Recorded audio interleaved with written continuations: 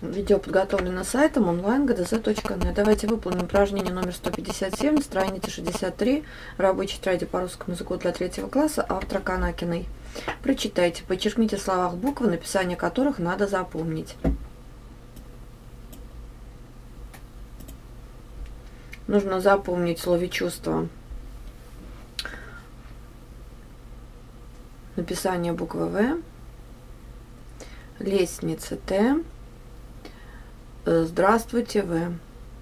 Запишите слова в алфавитном порядке, обозначьте в них ударение. Первым мы напишем слово «здравствуйте». Здраво. Ствуй.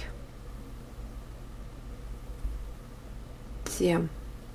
Здравствуйте. Ударение падает на А. Дальше записываем слово лестница. Лест не